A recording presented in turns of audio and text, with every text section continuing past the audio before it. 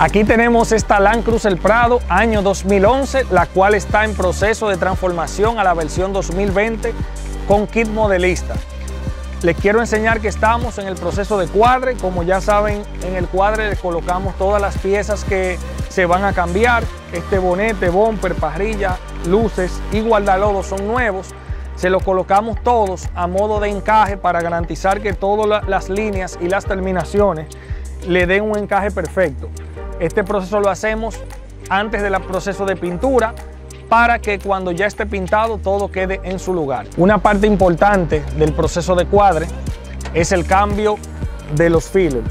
Los fillers son unas piezas internas que soportan el nuevo frente. Son unas piezas metálicas, básicamente tres piezas que van en esta parte de acá, eh, las cuales dan soporte a la nueva parrilla, al nuevo bumper y a las nuevas pantallas el cambio de esas piezas es prioritario en una transformación.